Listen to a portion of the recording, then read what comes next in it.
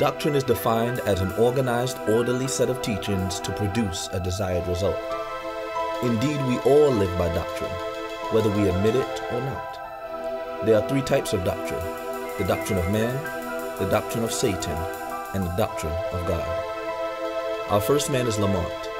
He is following the doctrine of man. Ideally, he has no doctrine for life. He follows whatever his mother tells him. His mother is overwhelmed because it is obvious that Lamont needs a positive male leading figure in his life, and there is none in sight. She has no husband, no spiritual leader, and no head. Therefore, her advice becomes detrimental to his life. Lamont is told by his mother he needs to help with the bills, so he leans to his own understanding and does what he thinks is best. He's doing well, according to his thinking, getting fast money, helping his mother with the bills, and getting some fresh clothes in the process. By his determination, he is doing what he thinks is best. He is leaning to his own understanding and going down the path of destruction.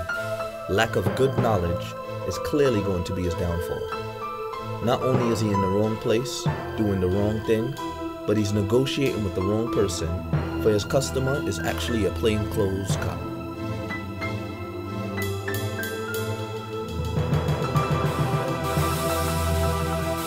The cop arrests Lamont. His life is beginning to deteriorate because of his doctrine or lack thereof.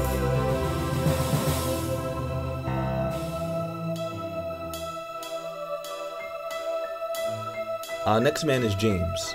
He is following the doctrine of Satan. From his outward appearance, you cannot tell which doctrine is in operation. He's well dressed and is considered an upstanding man in his community.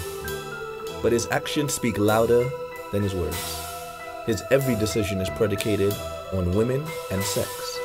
While his female boss is correcting him for his misconduct, he is attempting to hit on her and is undressing her with his eyes. James just crossed the line. His advances on his female boss are against company policy. Unfortunately, his mindset, which is bred in his doctrine, turns every situation involving women into sex. He is unwilling to change since he believes he is only doing what is in his nature. He is a man after all. Now his work is diminished because of his behavior and his boss is pursuing legal action. Soon, he is relieved of his duties for lack of production and has a sexual harassment lawsuit pending.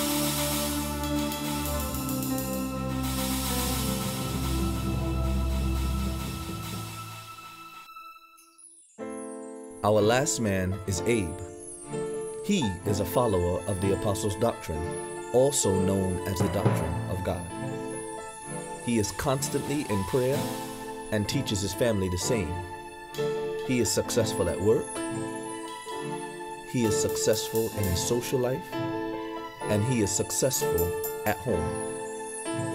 He knows that he is a man created in the image and likeness of God. Abe teaches his family to be positive minded. He leads by example, displaying the seven attitudes of a successful Christian. Joy and peace are evident in his house because his love of God is great.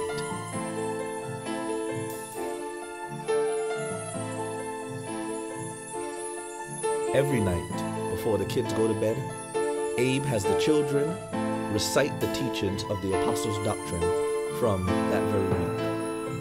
This week, the teachings were on the 13 values of the Universal Calvary Church.